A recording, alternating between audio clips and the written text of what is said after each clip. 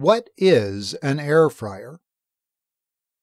An air fryer utilizes the convection mechanism in cooking food.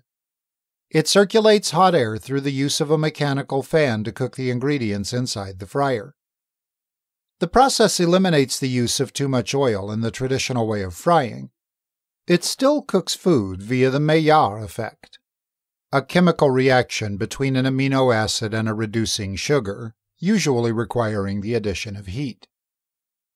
This process was named after the person who first explained it in 1912, French chemist Louis Camille Maillard. The effect gives a distinctive flavor to browned foods, such as bread, biscuits, cookies, pan fried meat, seared steaks, and many more. The air fryer requires only a thin layer of oil for the ingredients to cook. It circulates hot air up to 392 degrees Fahrenheit.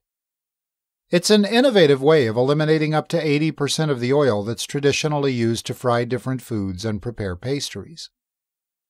You can find a dose of friendly features in an air fryer, depending on the brand you're using.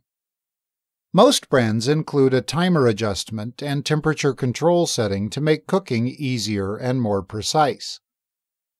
An air fryer comes with a cooking basket where you'll place the food. The basket is placed on top of a drip tray. Depending on the model you're using, you'll either be prompted to shake the basket or distribute oil evenly, or it automatically does the job via a food agitator. This is perfect for home use, but if you're cooking for many people and you want to apply the same cooking technique, you can put your food items in specialized air crisper trays and cook them using a convection oven. An air fryer and convection oven apply the same technique in cooking, but an air fryer has a smaller build and produces less heat.